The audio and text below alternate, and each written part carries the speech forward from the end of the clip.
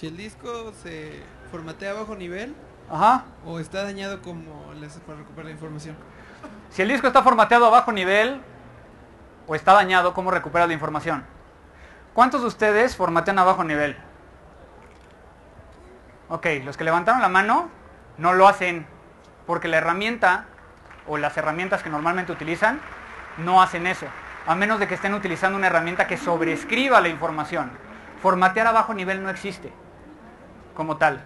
¿Se acuerdan que antes en MS2 te decían ponle format C y con eso va a sobrescribir todo? Eso era en la versión MS2 6.22. Ya ahorita ya no. Por los tamaños de los discos ya no se atreve el sistema a que te tardes 2-3 horas en sobrescribir el disco. Por lo tanto, en el momento que ustedes regalan, venden un disco duro y lo formatean, toda esa información está yéndose por ahí. ¿Cómo lo recuperas? Chécate el video del Campus Party pasado, porque hice una recuperación física aquí enfrente de todos. Y que no es tan difícil. Simplemente saber cómo inicia un archivo y cómo termina. La cabecera y la cola de un archivo. ¿Me das? ¿Dónde está? Aquí. A los organizadores, ¿me dan chance de mostrar eso? Me tardo cinco minutos. Ustedes díganme.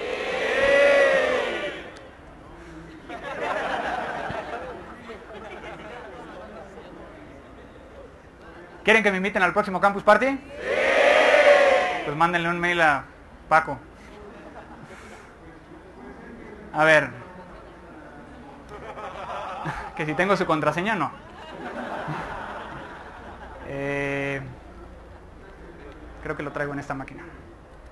Ok. Mientras, ¿alguna otra pregunta?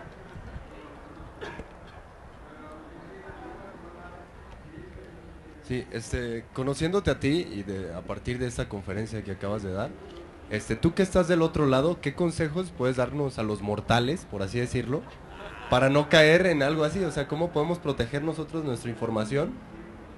Así, de manera práctica, por así decirlo, ¿qué recomendaciones puedes darnos?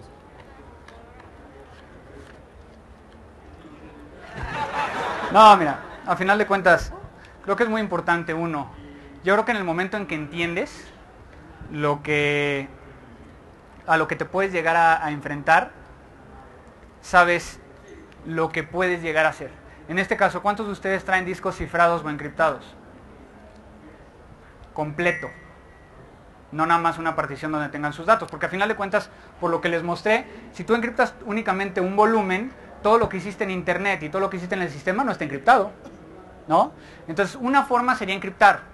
El tema es de que también, ahorita nosotros estamos pudiendo llegar a decriptar PGP con un cliente que, tengo en Colombia. Entonces, sí se puede, digo, es gobierno, ¿no? Sí se puede, pero es muy difícil que cualquier persona lo pueda llegar a hacer. Yo creo que una de las formas más fáciles es poder llegar a entender temas como, por ejemplo, eh, tu contraseña. Les platicaba yo en otras ocasiones. El 84% de nosotros tenemos la misma contraseña para todo. Si yo tengo una contraseña, puedo llegar a entrar a los demás servicios. Y aunque a lo mejor tengas diferentes contraseñas, todas las recuperaciones de contraseñas van a un solo, una sola cuenta. Con que yo entre a esa cuenta y pida recuperar las contraseñas de toda esa cuenta, lo puedo llegar a ver. ¿Qué posibilidad hay de que alguien lo haga? Así como te lo estoy platicando. Muy remota. O sea, no, no va tampoco hacia, hacia ese lado. Creo que es un tema particularmente de, de que no podemos hacer mucho más que entender a qué riesgos estamos expuestos. ¿Qué te gustaría proteger? ¿Que nadie viera tus contraseñas? Pues simplemente no le pongas recordar contraseña y no le prestes la computadora a nadie sin que la reinicies antes, por ejemplo, ¿no? Entonces, que eh, si vas a un cibercafé, que a lo mejor no utilices esa contraseña. O que lo utilices ahí y en el primer momento en que tengas disponibilidad cambies tu contraseña. Al final de cuentas a todos nos, nos puede llegar a pasar, ¿no? Sale. Rápido para contestar tu pregunta. Le haces así, ¿no? Para que te busque. Dame un segundo. Lo que están viendo ahí es el sector de arranque de un disco, de un floppy. ¿Sale? Nada más con verlo, un examinador forense te dice, este floppy fue de hecho formateado con un Windows 3.11. ¿Sale? ¿Por qué? Por la firma que tiene hasta arriba. ¿Sale? Todo sector de arranque termina en 55AA. ¿Se fijan que ni siquiera estoy viendo? sino que eso me lo tengo que aprender. 55AA, que está aquí, en esta parte de aquí. Eso significa que aquí termina un sector de arranque saludable. ¿De acuerdo? Después inicia las tablas de FAT o las tablas de, de partición en otros, en otros casos. Sin embargo, por ejemplo, estamos viendo un floppy, 1.44. Vean cuántas veces le estoy apretando para irme para abajo y cuánto está avanzando la barrita del lado derecho. ¿Sale? Ese es mi gran problema. Cuando me llega un disco duro de 4 terabytes y hay que recuperar información, puta madre. Ya no sé ni qué hice. Ok. Entonces, voy un poco más rápido y simplemente al ver, veo aquí que hay una subtabla de FAT. Eh, voy a irme más abajo. Vale, aquí está.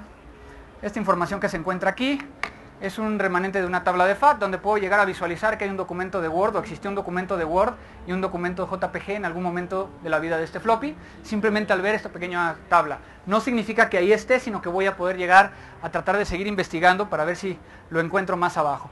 Voy a ir más para abajo, sigo yendo y entonces encuentro ahí datos.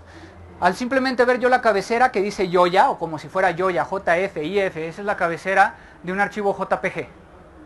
Así, ¿sale?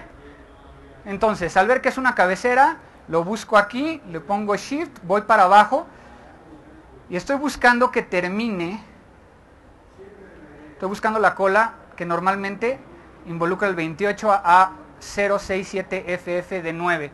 Si yo esto lo saco de aquí y le digo que me copie este bloque a un nuevo archivo y le ponga foto recuperada.jpg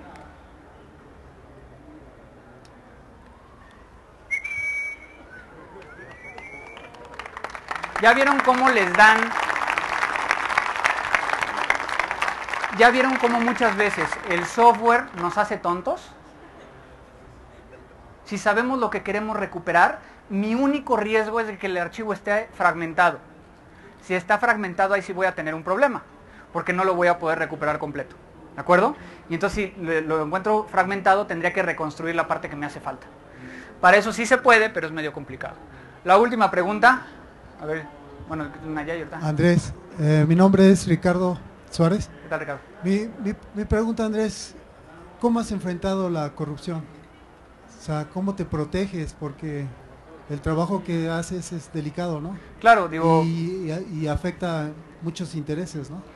Sí, de cierta manera sí, pero también hay que saber hasta dónde, ¿no? Hay cosas que no me meto, hay otras cuestiones que sí me ha pasado y, digo, no voy a decir exactamente qué casos, pero sí lo voy a decir. Me han desaparecido periciales. Cuando las presentan, desaparecen y me dicen, tú no, nunca viste nada, ¿no? Creo que es, es ponerle un granito de arena eh, desde cada quien, desde su trinchera, ¿no? Y a final de cuentas a mí sí me preocupa mucho ese tema. Eh, a mí me preocupa mucho desde el punto de vista de que a final de cuentas soy mexicano y quiero que esto cambie. Entonces, por eso también es de que me dedico a esto y con, riesgos. Entonces, creo que si cada uno pone su granito de arena, y yo lo que quisiera pedirles es, muchos de los que estamos aquí, estamos aquí porque conocemos las computadoras, porque conocemos los riesgos y conocemos las ventajas que tienen. Ayúdenme a hacer una campaña donde no voy a hacer una asociación, no voy a hacer absolutamente nada. Lo que quiero es de que nomás ustedes me ayuden a ir a las escuelas de sus hermanos, de sus primos. Pidan hablar con los papás o con los mismos chavitos y explíquenle a los papás qué es el Messenger, qué es el Facebook. ¿Por qué? Porque los papás están tan perdidos que los niños están haciendo cada cosa. Entonces parte de lo que estoy dedicándole tiempo es ir a colegios, a platicar con los papás y poder llegar a es- explicarles también a los profesores qué es el sexting, qué es el ciberbullying, qué es el tema de Facebook. Y bueno, en este caso una de las recomendaciones que les hago es las computadoras que no estén en, los cuartos de los niños. ¿Por qué? Porque ahí lo que hacen, y se si se acuerdan, nosotros todavía estamos en cierta edad donde entendemos eso. Cuando te metas adentro del cuarto, ¿qué pasa? ¿De quién es el cuarto? ¿Voy a dejar que me estén revisando? No. Entonces tratemos eso. Y en el tema de los menores, tratar de que no les den celulares con cámara. No les den celulares con cámara a los menores. Porque el momento en que le estás dando una cámara, ¿qué le estás diciendo? Puedes tomar fotos de lo que quieras. Y entonces tenemos el problema. eh, hace un par de meses me contactaron porque una chavita había, la habían fotografiado en la escuela, eh, su novio, y que después esa fotografía había estado pasando por todos los compañeros del salón. Y el problema es de que la chavita se tuvo que cambiar de, de ciudad, incluso, por la afectación psicológica que le causó el hecho de que te voy a regalar una imagen porque eres mi novio o mi novia, ¿de acuerdo? Esa es la parte que más me duele, la parte de pornografía infantil y menores, pero pues a final de cuentas eh, trabajo actualmente de manera voluntaria con un organismo que se llama el International Center of Missing and Exploited Children, el Centro Internacional de Niños Explotados y Perdidos, donde dono tiempo para clasificar imágenes de pornografía y poder llegar a tratar de definir si fueron tomadas en México o si hay elementos que me puedan llegar a dar una, evidencia de dónde está el menor para tratar de rescatarlo. Entonces, si todo el mundo pone un granito de arena, de una manera, cada quien dentro de su escuela, dentro de su trabajo, pues yo creo que podemos llegar a cambiar esto. Porque, y para terminar, y ahorita si quieres me acerco contigo para platicar, el problema actual de seguridad de la información, todo lo que les han estado mostrando aquí, no es un problema de tecnología, es un problema de cómo hacemos uso de la tecnología. Hasta que no nos eduquemos y eduquemos a los demás, no vamos a entender y no vamos a poder llegar a detener que todo el mundo sube en, Facebook y en Twitter lo que están haciendo, lo que no están haciendo, tagueando, haciendo Foursquare y demás. Entonces pasen la voz y entonces cualquier persona que, quiera o tenga interés en, esto o que quiera llegar a contactarme, la forma más sencilla es vía Twitter y ya de ahí este, ah, bueno ya cerré la presentación, pero aquí está vía Twitter y ahí tienen los datos, ¿sale? Creo que por tiempo ya tenemos que detenerlo. ¿O puedo hacer una última pregunta? ¿Me regalas una pregunta acá? Gracias. ¿Vamos bien? Ya los veo muy, muy, muy serios. Sí, hola, que mi nombre es Gilberto Castro. Bueno, mi pregunta es, aún todavía sigo teniendo la curiosidad, hace 12 años que hicieron las elecciones. Entonces, este, ya cuando se terminó las elecciones se, se almacena todos los votos en la base de datos. Entonces inclusive dice por ahí que el mismo partido este, bajó el sistema, lo bloqueó para que no pudieran ahí estar este, en continuidad, lo bloquearon, entraron al sistema, entraron a la base de datos y de esos mismos votos que tenía un partido con mayor votos, lo bajaron y cambiaron los votos. Y mi pregunta es, hay posibilidades que se pueda realizar un super seguridad de bloqueo de que no puedan entrar al sistema, luego de la base de datos, luego o, obviamente sería algo muy experto. Bueno, ¿qué tan fácil es hackear?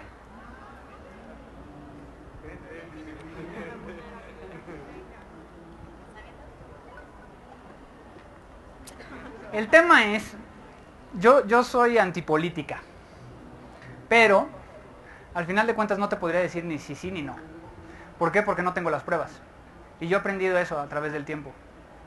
Porque me han tocado casos de que, de que muchas veces yo tengo que dar información o hacer una investigación con respecto a que si alguien va a ir a la cárcel o no. ¿No? Digo, esa es, es mi labor. Y si lo ves desde una perspectiva, así sería. El tema es de que no soy yo el que los mete a la cárcel. No soy yo el que está presentando o inventando pruebas. Yo creo que ahí la respuesta sería, tendríamos que ver el sistema para poder llegar a definirlo. A mí una gran ventaja. A mí me encantan las computadoras, como a todos ustedes. Y yo veo que las computadoras para mí son los entes que no me mienten. Porque las computadoras no mienten. O es un 1 o es un 0. O está o no está. De tal manera que entonces, ¿en quién confías? ¿En una testimonial o en una de estas. En una de estas. Nos olvidamos que estas pequeñas cajitas negras tienen toda nuestra vida. Pregúntense, así como ahorita preguntabas, si analizara yo ahorita su computadora, ¿qué sabría de ustedes? Si analizara su teléfono celular, ¿qué encontraría de ustedes? ¿Habría algo? ¿Estarían mintiendo hacia otros? Yo creo que hasta ahí lo voy a dejar. Quiero agradecerles mucho su tiempo, perdón al camarógrafo que estuvo yendo y viniendo. Y pues agradecerles a todos ustedes y a todos los que nos están siguiendo por el streaming, allá a Colombia, mis amigos de Venezuela que estuvieron siguiéndome. Muchísimas gracias a todos ustedes. Me voy a quedar un, poco de tiempo este, por aquí, si tienen alguna pregunta, algún comentario. y pues agradecerles mucho por su tiempo. Gracias.